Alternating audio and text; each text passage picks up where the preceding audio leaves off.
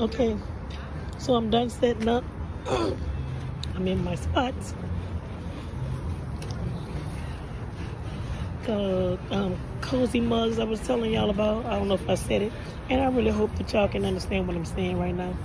But these mugs are they're copper mugs and they're, they come with different quotes. They have a pair of socks inside, cinnamon sticks, apple cider tea, and two chocolate um, balls. Passports on deck. It's my little price list. Business cards.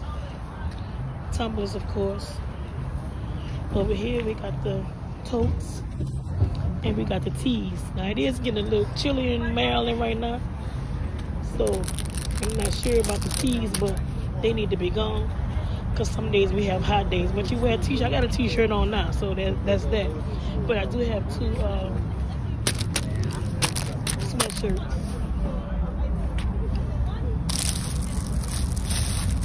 And that's what I got today. Tomorrow might be, well, a continuation of today, depending on what's left. But as things move out, new things will come in. Or, you know, I might have to try a different, uh, well, not. As new things go out, new things are to come in. We not doing all that. So that's what it is.